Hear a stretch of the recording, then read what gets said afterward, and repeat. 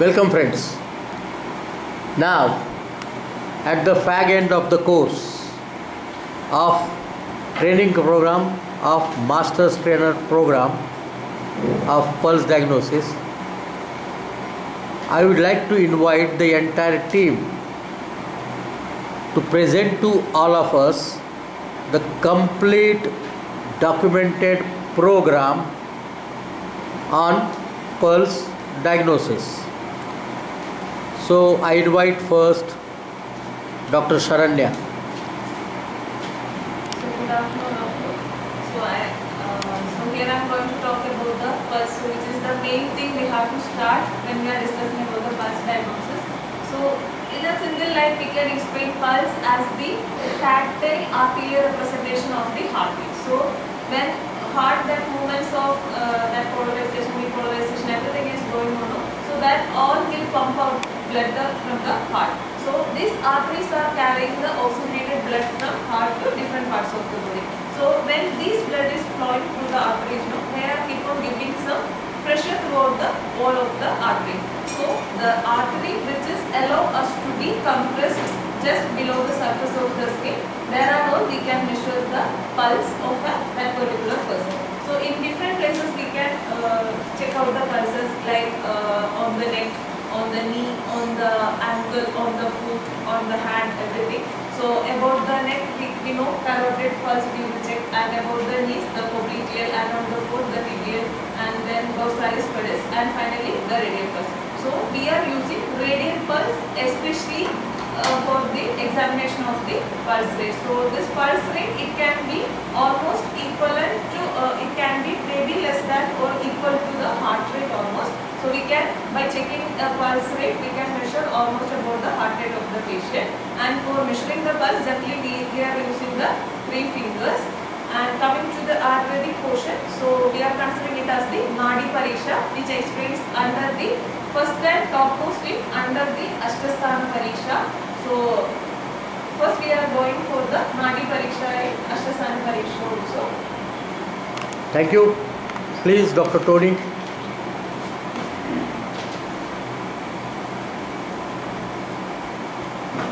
Good afternoon, everyone. Um, I'm here to talk about what pulse diagnosis is and what is uh, the relevance of pulse diagnosis or Nadi variation in diagnosis. So, coming to pulse diagnosis, um, it is a diagnostic method to treat a patient or treat a disease. We need a diagnosis, and uh, to come at a diagnosis, there are always we use major many methodologies. So pulse diagnosis is one among them. So it is a diagnostic method which helps us to assess the condition of the patient. But specifically when speaking about pulse diagnosis or Nadi Pariksha, it is not just about assessing your pathological state. It is about assessing your whole body function. So being a doctor or being someone who is working in a medical field, what we have to need, what we need to know is about knowing about the normalcy of the body and getting to know about the abnormality of the body. So, pulse diagnosis is a specialized method, methodology of diagnosis where it helps to assess and understand the normalcy along with the abnormality of the body at a single point.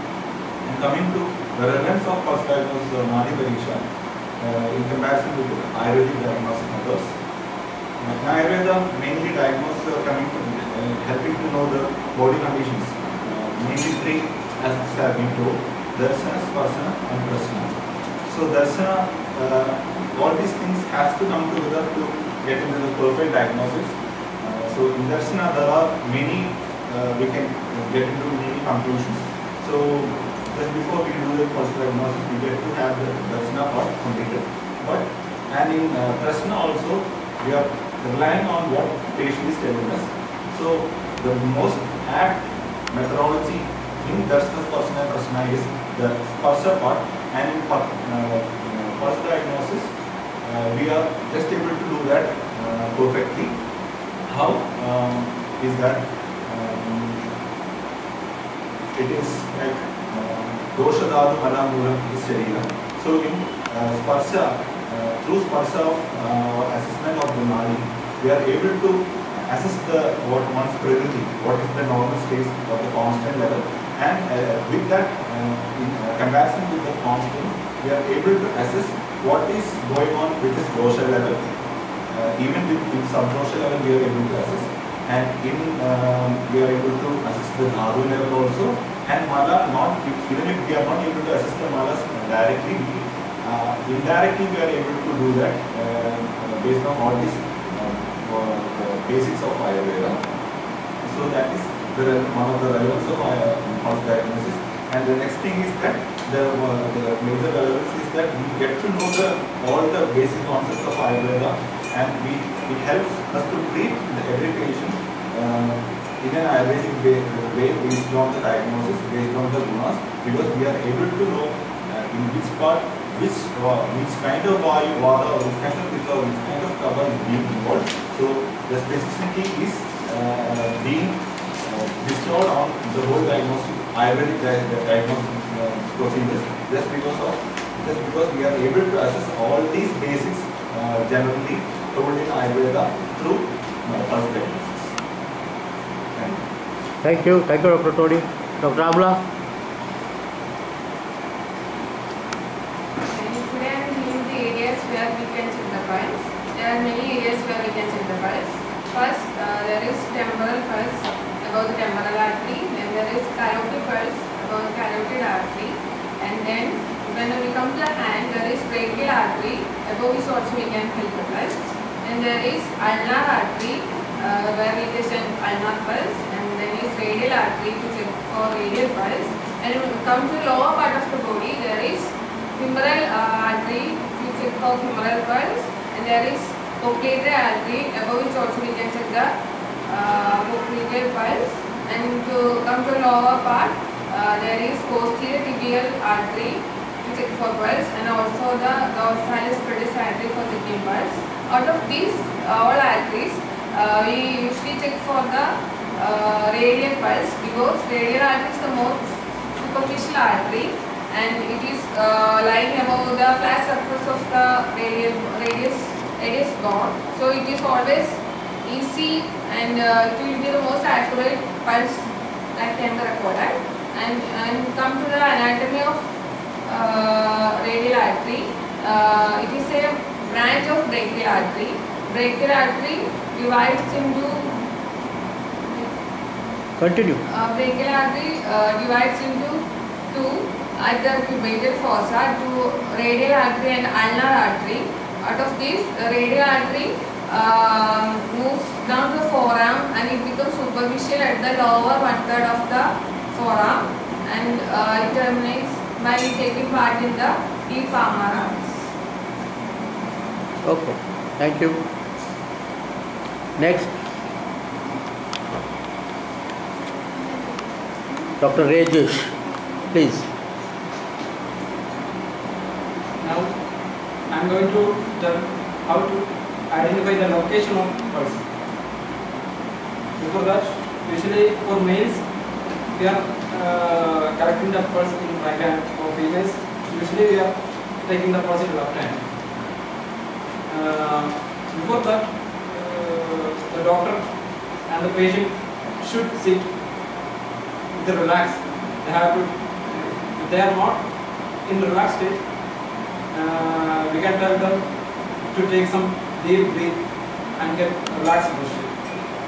Then after that, uh, we have to check or ask them if any injury to the hand or any other pathological problems to like like lipoma or tumor like that. Uh, if it is present in right hand, we can we have to check that left hand for that only that purpose. Then before uh, locating, uh, how to locate? That means uh, keep the hand like this. With the index finger of other hand, we start from the tip of thumb to the lateral side, and from thumb uh, coming to the uh, this end, move the uh, index finger. Then we will see uh, some tuberous process of radial bone. From this, move the index finger towards the medial side. Then we will find a groove and we will get a pulsation.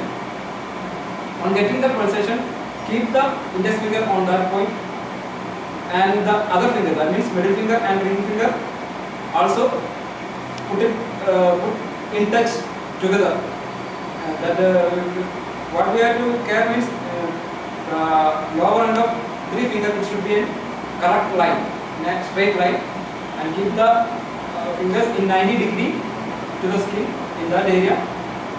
This is the uh, locating question of Thank Dr. Rajesh. Dr. Latif.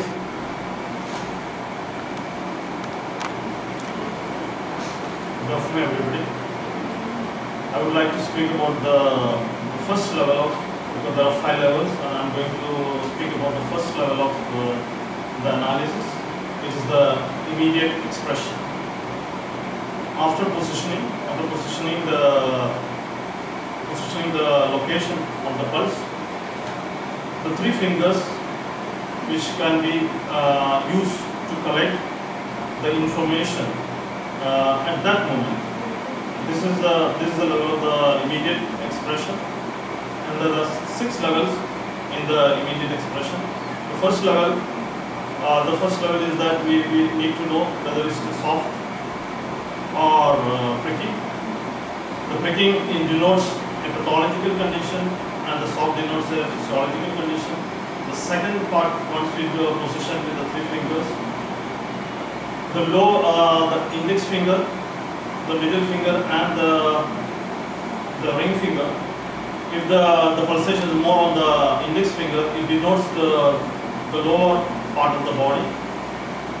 If it is the it's more on the middle finger, it denotes on the middle part of the body, and if it's on the ring finger, it denotes more on the upper part of the body. The third level we, we use for the grading. It, it's the grading level related with the from 1 to 3 and if there is no pulsation or if we cannot get anything it's, it's a graded as a 0. On the on the fourth level we just see the the rhythm of the of the pulsation is regular or irregular. The regular pulsation which the rhythm is regular it shows if there is no cardiac involvement. If it is irregular it shows there is cardiac involvement. The fifth one it's like it, it shows it's the we do not we, we see if it is like the pulsation is full or the pulsation is uh, empty. The, if the if the pulsation denotes it is full, it denotes it's an acute condition. If it is empty, it denotes the a chronic condition. And the last one, it's like the warmth of the, the pulse. If it is warm, it denotes it's with ama, and if it is not warm, it denotes it's uh, without ama. Thank you.